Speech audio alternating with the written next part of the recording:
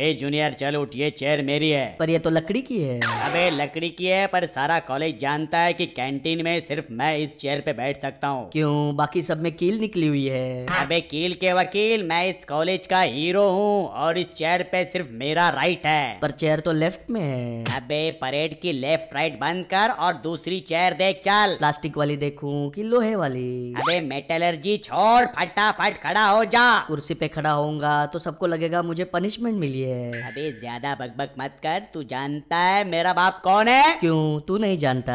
ए, मेरे बाप पे मत जाना वरना। बाप तेरा है तुझे उस पे जाना चाहिए। बस मैं इस कॉलेज का दादा हूँ। कुछ तो इज़्ज़त करना भाई। दादा है तो तेरे पोते किधर गए? जन्म में गए। अकेले गए कि दादी के साथ गए? मम्मी! इतना लंबा मम्मी क्यों बोला? उनकी हाइट ज़्यादा थी क्या? हाँ